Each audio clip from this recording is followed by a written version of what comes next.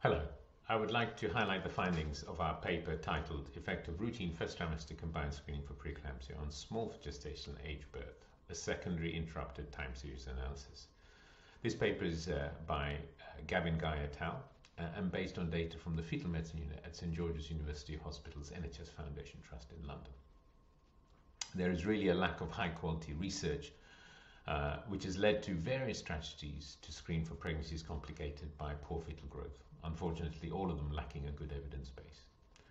One example is the NICE pregnancy booking risk assessment checklist, which is unable to produce an individual risk for the woman, uh, thereby precluding the provision of personalized care in pregnancy and resulting in rather broad and inaccurate classification of women in, into risk groups.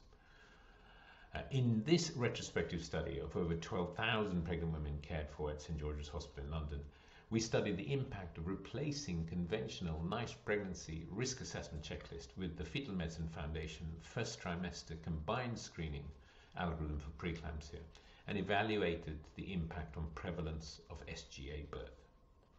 Women considered at high risk of preterm preeclampsia, that is, a risk greater than 1 in 50, in the FMF cohort were offered 150 milligrams of aspirin commenced before 16 weeks of gestation, serial growth scans, as well as elective birth from 40 weeks of gestation.